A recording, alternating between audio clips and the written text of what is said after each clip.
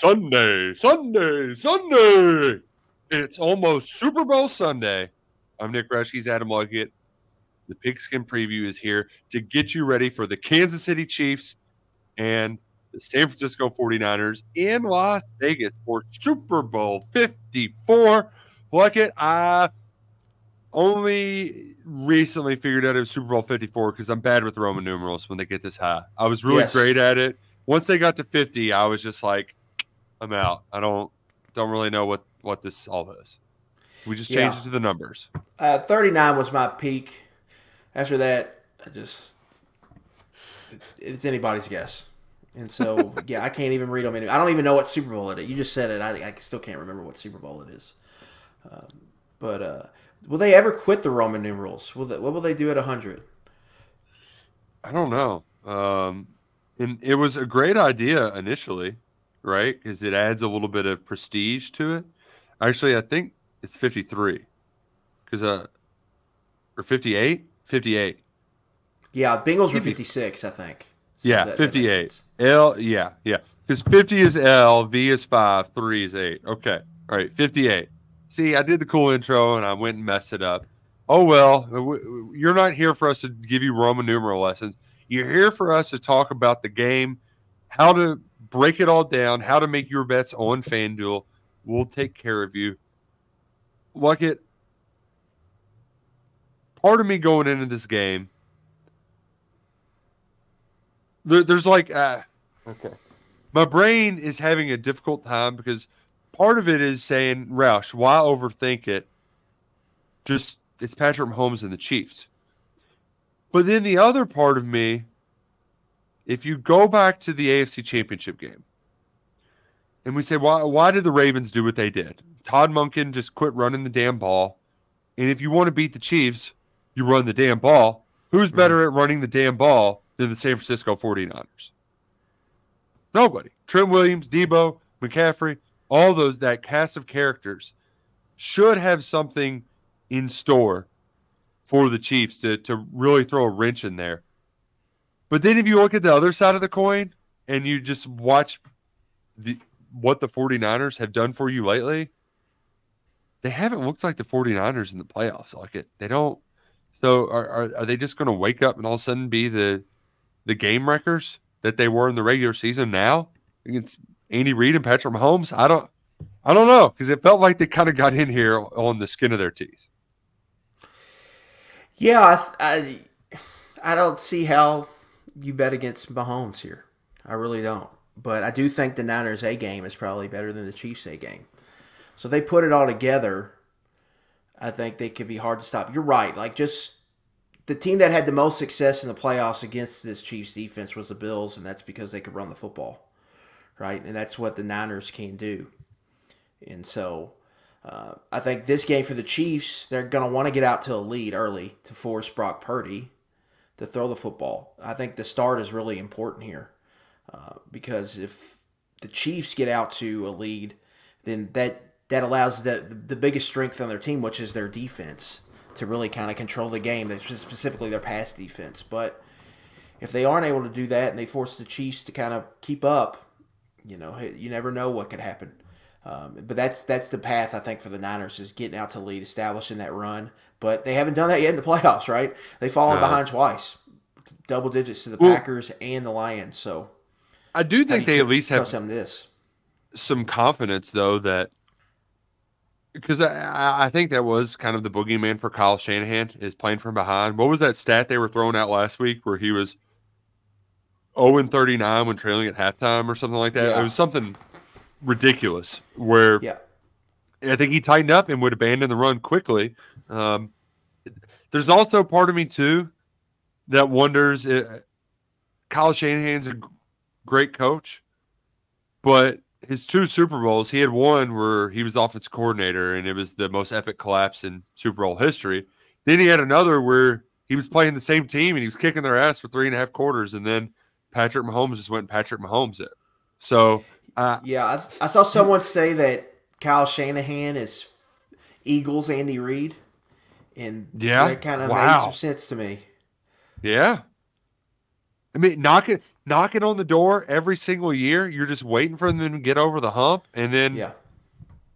what if they just can't? Or what? Or what if he's um who is the Bills coach when they uh, lost all the Super Bowls? Yeah, uh, to the Cowboys. Maybe this Yeah. is To me, yeah, I, it almost feels like if the if the Niners don't do it now, it feels like they've got a roster reset probably coming here soon, yeah and so you have to wonder if this is their last real swing with this roster and with Shanahan, um, with this group. Um, but having Purdy on that rookie contract is going to help them roster build, obviously, next couple years. Uh, where the Chiefs are, they are the dynasty right now, and if that would be a tough pill to swallow for the Niners to have a Super Bowl team potentially twice and lose to the Chiefs and Mahomes uh, both times would be tough. And they've kind of caught Yeah. they've caught some bad breaks. Two years ago, the guy drops the interception against the Rams. If Yeah. they catch that, they might win the Super Bowl that year. And then Purdy gets hurt in the NFC Championship game um, Right. last year. And another interesting stat: Shanahan he's undefeated as a favorite, uh, straight up in the playoffs really interesting. but he's got a bunch of games he hasn't covered. You know, just look at the last two weeks, um, and then his losses have been as a dog. Uh, uh, you know, when he hasn't covered, so he's got more, lo- you know, some losses there, and but they were all when he was a dog. So that that's that's an interesting trend I think to follow this week. The other interesting trend is um, the jersey uh, selection, which uh, for the I love dumb betting trends like this, um, Yeah, but they're also can be faithful because teams in white jerseys have won something like eleven of the last fifteen Super Bowls. Um, but one of those teams that didn't was the Chiefs, who wore this same uniform combination when they beat the Niners. Uh, was that six years ago? Something like that, five years ago. Yeah. So um, that that that's one of the more sillier trends. Uh, and the the team that has covered uh, has won outright.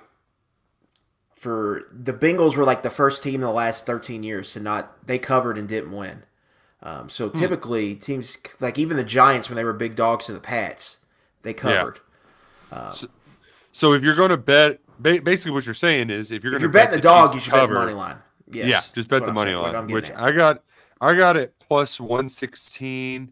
Um, right now it's just right at like plus one ten um, on FanDuel, and the Chiefs are two and a half point dogs. That number slightly went down uh, once the the total initially came out, uh, but you can play along at FanDuel, fanduel.com slash pigskin to sign up. You place a $5 winning wager and you get $200 in bonus bets to play around with. So win that first $5 wager on Saturday, playing some college basketball.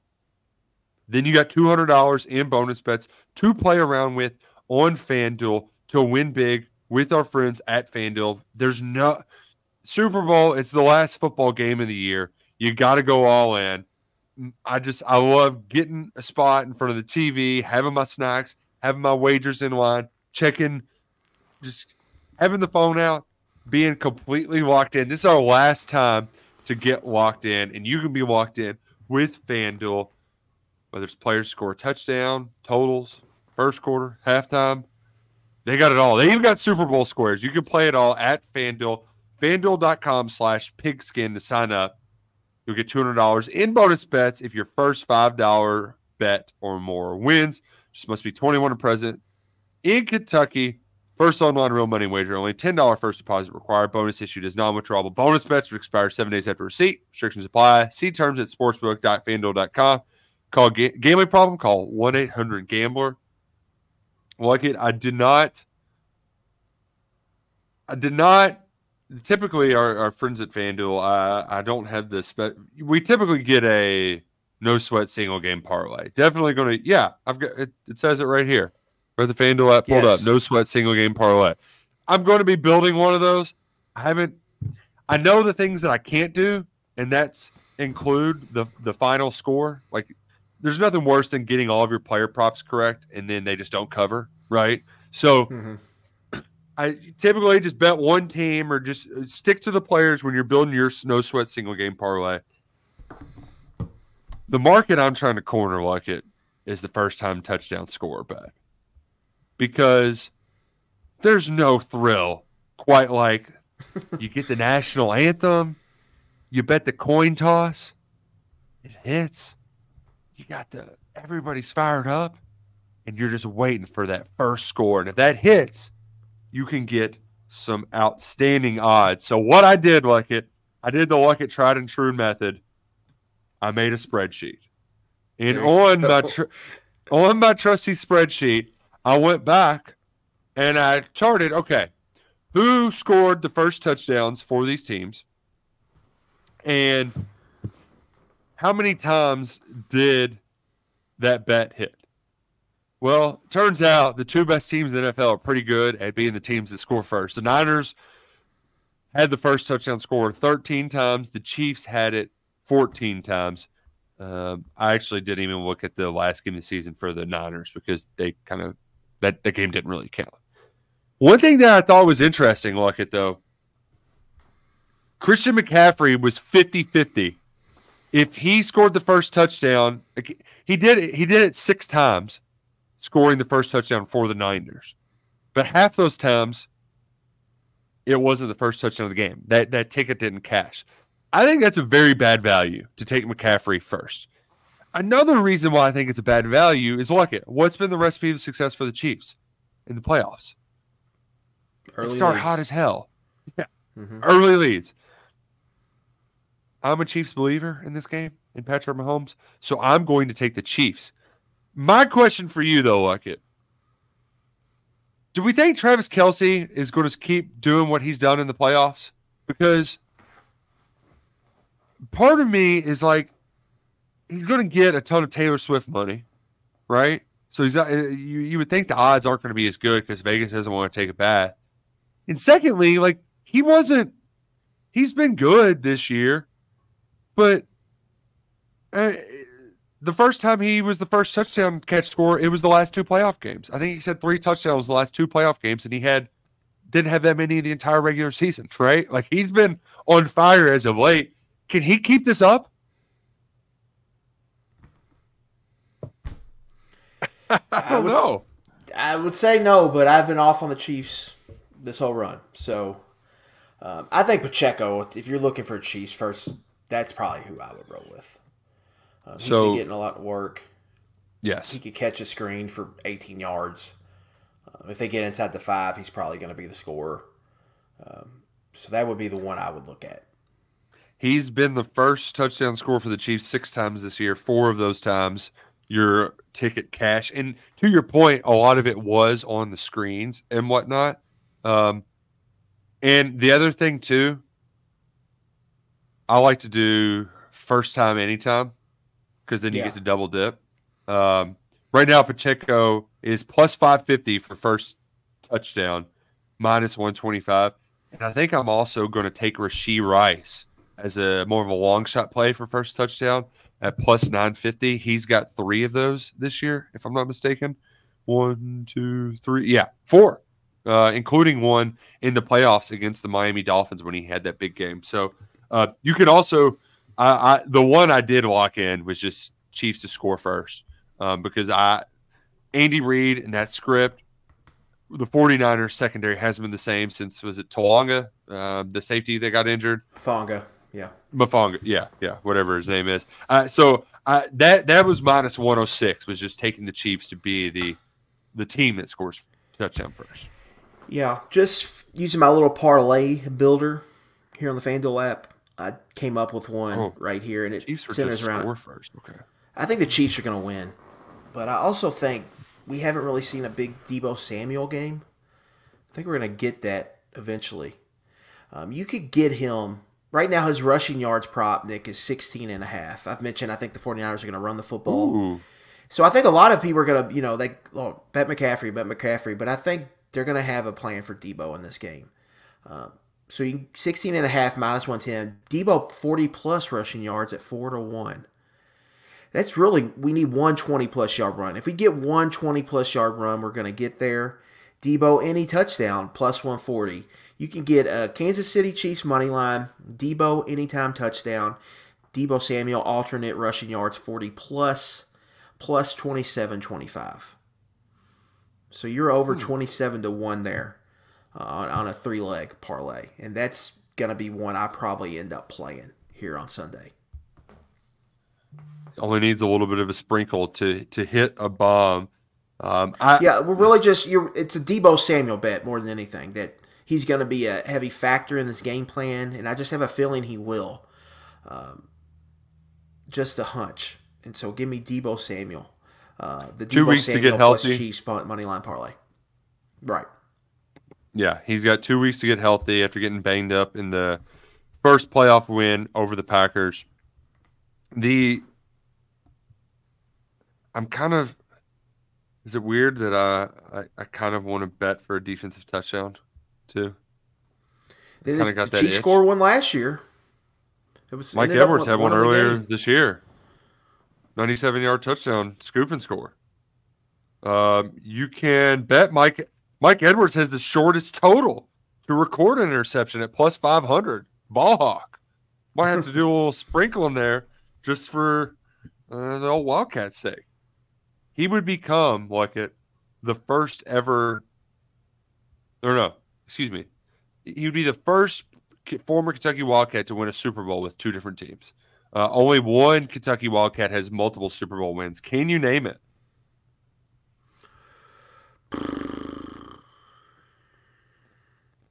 Myron Pryor, maybe he was with the Pats. Was he with the Pats twice? No, I know it's guy. not him. Yeah, it's a it's a guy in the seventies, so you probably won't get it. Let's just get. Did Chris Matthews get one with the Hawks? No, he was only on the one that they lost. So he recovered the onside kick, and then I thought there was a chance he could be Super Bowl MVP um, with the Yeah. big touchdown, had 100 yards receiving. Uh, yeah, he probably was, was, the- if they just handed it to Marshawn. That was the Malcolm Butler pick game. Yeah. Um, but the the only Kentucky Wildcat to win multiple Super Bowls, Larry Seiple, was a receiver and punter for the Cats, got drafted by the Dolphins.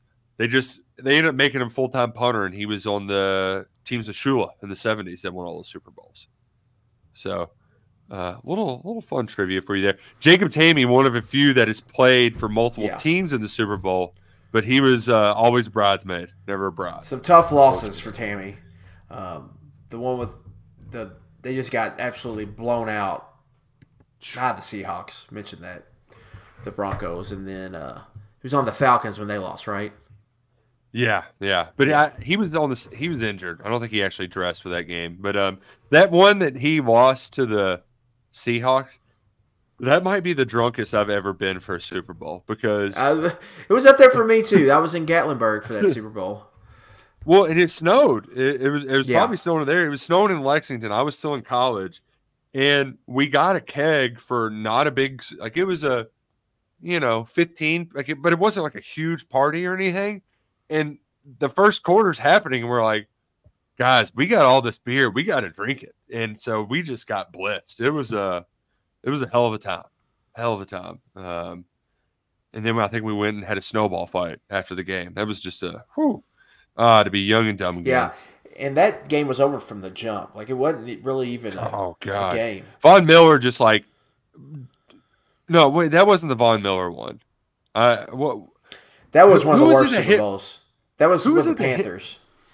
yeah, who was it that just blew up Peyton's ass on didn't Was they like strip sack Peyton?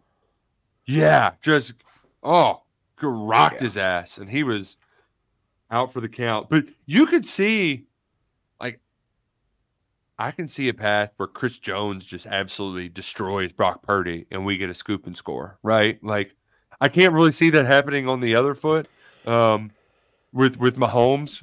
Uh, Purdy has had but- some bad moments in these playoffs. Uh, you know, the Lions drop a pick in a big spot. He wasn't great against the Packers. So yeah, I mean, I I I didn't see the interception odds, but I did like Purdy interception uh, to maybe even throw in a parlay if you're trying to build something out because I feel pretty good about him throwing a pick against his Chiefs defense. Uh, yeah, Brock Purdy interception. You can't put in your parlay, but it's minus one thirty two for yes. So you'll have to bet it individually, get a little bit of extra juice out of it. Um, I have just the biggest scratch in my throat. I don't understand why. It's very annoying. Uh, defensive player anytime touchdown score. Oh, you can even bet the player. I just want the team. I'm probably going to because Edwards was like plus five thousand. Um, if you just get to TD score props, do we have just defense on here? Kansas City defense anytime seven and a half to one. Might have to sprinkle on that a little bit too. Well, that's what's fun. Just a lot of sprinkles out there. And the first time I did this was when Mahomes lost the Super Bowl to the Bucks, and it was I probably had like a dozen five dollar bets out there, and most of them ended up washing by the end of it. Um, but look at I my off the jump, I'm just I'm kind of with you in that I have a lot more confidence in Kansas City just being ready for this moment in this game and not letting it be too big for them. I trust Patrick Mahomes more, and more importantly, what we really have. I mean, yes, we talked, but Spags, the way he's called defense has been outstanding this entire playoffs. How many times? How many teams are getting Lamar Jackson to punt the ball seven times? Right? Yeah. Like, you know, like uh, that, he's that defense has been incredible, and I, I, I think that it's a lot different than the Lions defense against against the Niners. Yeah, the big thing for me, like the 49ers do get out to a lead again and they end up losing in the fourth quarter, if Kyle Shanahan had, had that happen to him three times in what the last decade or last eight years probably. I mean, He's gonna get roasted online, man. brutal be on tough. the internet. So for him, I hope they win or they just get blown out because that would you don't want to you know, you don't want that because you know that's what everyone's going to be saying, right? If it gets in the fourth quarter, say the Niners are up 10 in the second and you get in the fourth quarter, it's San Francisco 23, Kansas City 20. Mahomes has got the ball with five minutes left. Everybody's yeah, going to be like, yeah. is he really going to blow this again? The best case scenario for Kyle Shanahan is for Brock Purdy to just be terrible. And then you can just be like, well, you know, maybe another Jimmy G situation, right? Because people forget that Jimmy G had a chance to go win in the game and he missed that deep throw. I forgot who it was. Well, too, that he, whole that team was was an awesome team, but if you made them drop back pass, they were in trouble with Jimmy G, and that's essentially what happened. They got in a situation where they couldn't play action fake anymore. Uh, and this one's a little. This team's different because they Purdy can drop back and they can throw a little bit. He can. Um, their well, weapons he can are better, move with his legs receiver, too. So. Third and Jawad yeah, cool nickname for Jawad. I don't. I don't think they're going to. Uh, Purdy's going to run on the Chiefs like he ran on um, that Detroit secondary. Uh, yeah, but he, he's he's good for one of those third down. You think they're getting off the field, and he extends the drive. Right. Yeah. Yeah. I agree. Um, look, are you one of those that gets it's it's a Super Bowl show, so we have to talk about Taylor Swift. That's it's in the contract with FanDuel. Um, are you one of those that uh, cares, is mad about it, is happy about it, or just like doesn't care whatsoever at all? I just do not. I, I don't care. I really don't care. Yeah, I, I, I don't like. I get why people are. She's on there a lot. I was excited like she's she's drawing a bigger audience, but I also don't understand what the big deal is. Like they're just painting like they paint famous people in the crowd quite a bit. They're painting to her maybe one individual more than just yeah. all the time. But we saw Jason Kelce; he got as much airtime as she did. You know? Yeah. If the Bengals playing the Chiefs in the playoffs again, and they're showing Taylor Swift a lot, I, my, my opinion might be different. Um, But I think it's just people taking out their frustrations on the Chiefs. They're just sick of yeah, their, you know what? So they're yeah. taking it out on Taylor Swift. Could be. Which also, they, she's the on there. She's on there a lot, and like back in the day, the Tony Romo, Jessica Simpson, um, people hated that too. They're just Twitter wasn't around. Uh, yeah. Twi- yeah. Twitter's just around. Well, I guess it was around back then, but it was it was probably like early Twitter. It, yeah, yeah.